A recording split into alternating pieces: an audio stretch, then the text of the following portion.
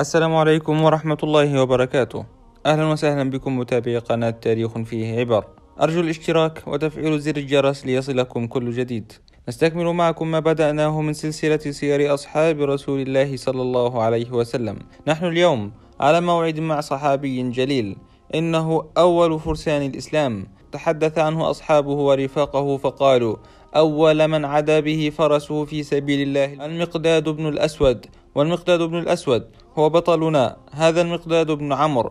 كان قد حالف في الجاهلية الأسود ابن عبد يغوث فتبناه فصار يدعى المقداد بن الأسود. حتى إذا نزلت الآية الكريمة التي تنسخ التبني نسب لأبيه عمرو بن سعد. والمقداد من المبكرين بالإسلام وسابع سبعة جاهروا بإسلامهم وأعلنوه حاملا نصيبه من أذى قريش ونقمتها في شجاعة الرجال وغبطة الحواريين. ولسوف يظل موقفه يوم بدر لوحة رائعة لا يقل بهاؤها. موقف شامخ.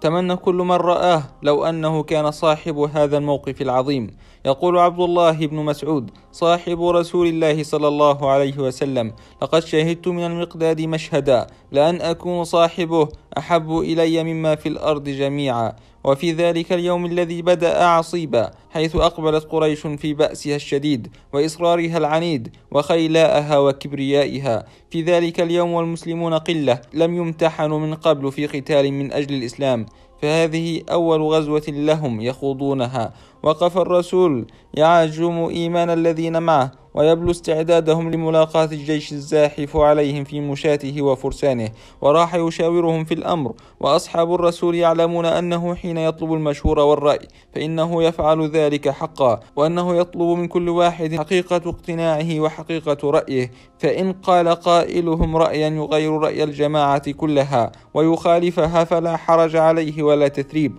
ولقد خشي المقداد أن يكون بين المسلمين من له بشأن المعركة تحفظات وقبل أن يسبقه أحد بالحديث هم هو بالسبق ليصوغ بكلماته القاطعة شعار المعركة ويسهم في تشكيل ضميرها ولكن قبل أن يحرك شفتيه كان أبو بكر الصديق قد شرع يتكلم فاطمأن المقداد كثيرا. وقال أبو بكر فأحسن وتلاه عمر بن الخطاب فقال وأحسن. ثم تقدم المقداد وقال يا رسول الله امضي لما أراك الله فنحن معك. والله لا نقول لك كما قالت بنو إسرائيل لموسى اذهب أنت وربك فقاتلا إنها هنا قاعدون. بل نقول لك اذهب أنت وربك فقاتلا إن معكما مقاتلون.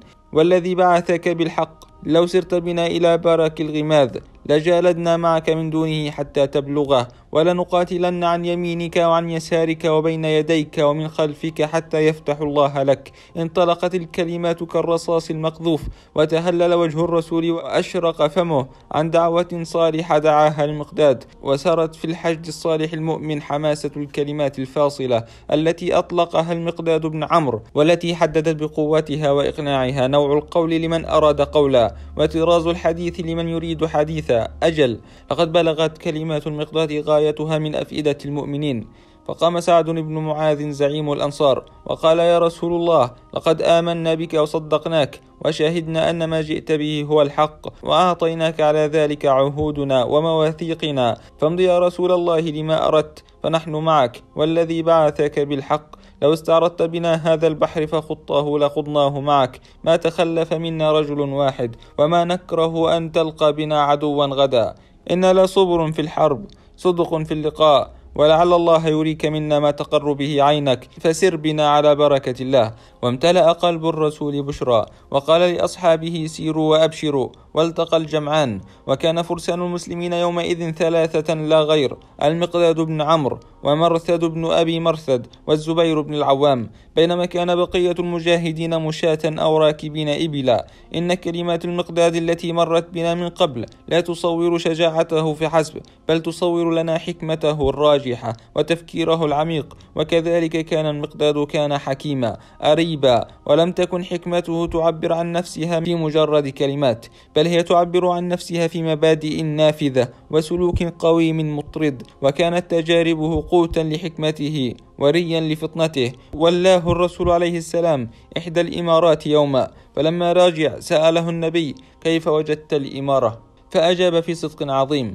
لقد جعلتني أنظر إلى نفسي كما لو كنت فوق الناس وهم جميعا دوني والذي بعثك بالحق لا أتأمرن على إثنين بعد اليوم أبدا إذ لم تكن هذه هي الحكمة فماذا تكون؟ وإن لم يكن هذا هو الحكيم فمن يكون؟ رجل لا يخدع عن نفسه ولا عن ضعفه يلي الإمارة فيغشى نفسه الزهو والصلف. ويكتشف في نفسه هذا الضعف فيقسم مظانة ولا يرفضن الإمارة بعد تلك التجربة ويتحاماها ثم يبر بقسمه فلا يكون أميرا بعد ذلك أبدا. لقد كان دائب التغني بحديث سمعه من رسول الله هو ذا إن السعيد لمن جنب الفتن وإذا كان قد رأى في الإمارة زهوا يفتنه أو يكاد يفتنه. فإن سعادته إذا في تجنبها ومن مظاهر حكمته طول آناته في الحكم على الرجال وهذه أيضا تعلمها من رسول الله فقد علمهم عليه السلام أن قلب ابن آدم أسرع تقلبا من القدر حين تغلي. وكان المقداد يرجع حكمه الأخير على الناس إلى لحظة الموت ليتأكد أن هذا الذي يريد أن يصدر عليه حكمه لن يتغير ولن يطرأ على حياته جديد وأي تغيير أو أي جديد بعد الموت. وتتألق حكمته في حنكة بالغة خلال هذا الحوار الذي ينقله إلينا أحد أصحابه وجلسائه. يقول جلسنا إلى المقداد يوما فمر به رجل فقال مخاطبا المقداد طوبى لهاتين العينين اللتين رأتا رسول الله صلى الله عليه وسلم. والله لوددنا أن رأينا ما رأيت وشهدنا ما شهدت. فأقبل عليه المقداد وقال ما يحمل أحدكم على أن يتمنى مشهدا؟ غيبه الله عنه. لا يدري لو شهده كيف كان يصير فيه. والله لقد عاصر رسول الله صلى الله عليه وسلم أقواما. كبهم الله عز وجل على مناخرهم في جهنم. أولا تحمدون الله الذي جنبكم مثل بلائهم وأخرجكم مؤمنين بربكم وبنبيكم. حكمة. وأي حكمة؟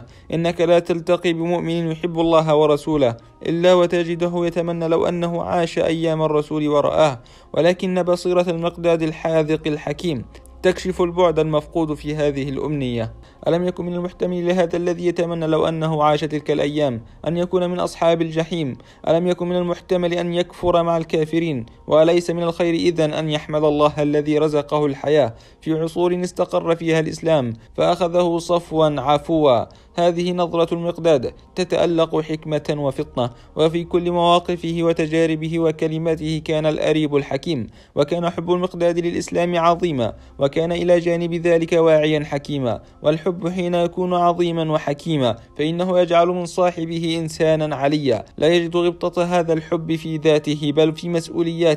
والمقداد بن عمرو من هذا الطراز فحبه الرسول ملأ قلبه وشعوره بمسؤولياته عن سلامة الرسول ولم يكن تسمع في المدينة فزعة إلا ويكون المقداد في مثل لمح البصر واقفا على باب رسول الله ممتطيا صهوة فرسه ممتشقا مهنده وحسامه وحبه الإسلام ملأ قلبه بمسؤولياته عن حماية الإسلام ليس فقط من كيد أعدائه بل ومن خطأ أصدقائه خرج يوما في سرية تمكن العدو فيها من حصارهم. فأصدر أمير السرية أمره بألا يرعى أحد دابته ولكن أحد المسلمين لم يحط بالأمر خبرا فخالفه فتلقى من الأمير عقوبة أكثر مما يستحق أو لعله لا يستحقها على الإطلاق. فمر المقداد بالرجل يبكي ويصيح فسأله فأنبأه ما حدث فأخذ المقداد بيمينه ومضى صوب الأمير.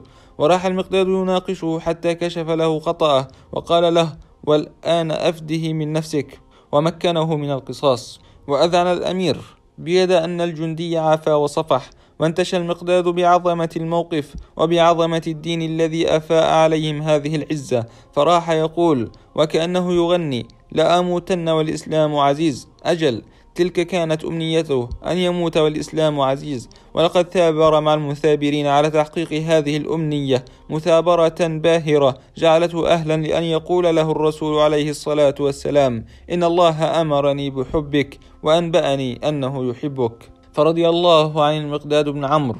ورضي عن الصحابة أجمعين. وبهذا نكون قد وصلنا معكم إلى نهاية هذه القصة. وإن شاء الله نستكمل معكم ما بدأناه في هذه السلسلة. والسلام عليكم ورحمة الله وبركاته.